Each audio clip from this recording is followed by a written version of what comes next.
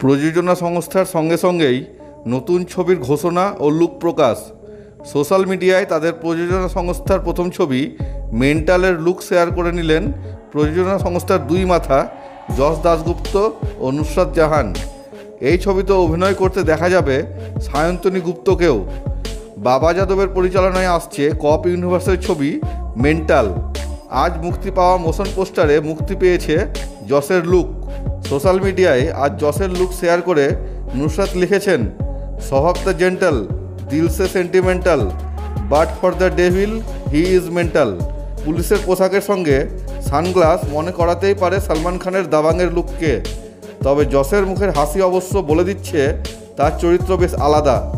এর আগে একাধিক সাক্ষাৎকারে তিনি বলেছেন, মূলধারার ছবিতেই তিনি স্বচ্ছন্দ। আর মুক্তি পাওয়া ছবির মোশন পোস্টারে সে আচই পাওয়া গেল। যশ নুসরাতের এই ছবিতে কপ ইউনিভার্স গড়ে তোলার পরিকল্পনা রয়েছে, যদিও এখনও ভীষণ প্রাথমিক স্তরে রয়েছে যাবতীয় পরিকল্পনা। এখনও শুরু হয়নি ছবির শুটিং। নতুন পদক্ষেপে খুশি নুসরাত ও যশ দুজনেই। তাদের আগের ছবি মাস্টার মশাই আপনি কিছু দেখেননি মুক্তির অপেক্ষায়। প্রযোজনা সংস্থার সঙ্গে কিছু সমস্যা হওয়ার কারণে সেই ছবির মুক্তির তারিখ এখনও ঠিক হয়নি। এই ছবি এনা সাহার প্রযোজনা সংস্থা থেকে মুক্তি পাওয়ার কথা ছিল।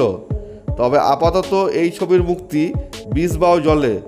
এর মধ্যেই নতুন সফর শুরু করলেন যশ ও নুসরাত। এই ছবির হাত ধরেই দীর্ঘদিন পরে বাংলায় ফিরছেন সায়ন্তনী গুপ্ত।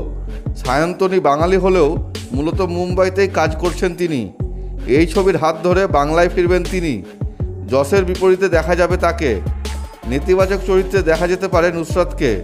এখনও দুই নায়িকার মধ্যে কারোরই লুক প্রকাশ্যে আসেনি। ধন্যবাদ ভিডিওটি সম্পূর্ণ দেখার জন্য।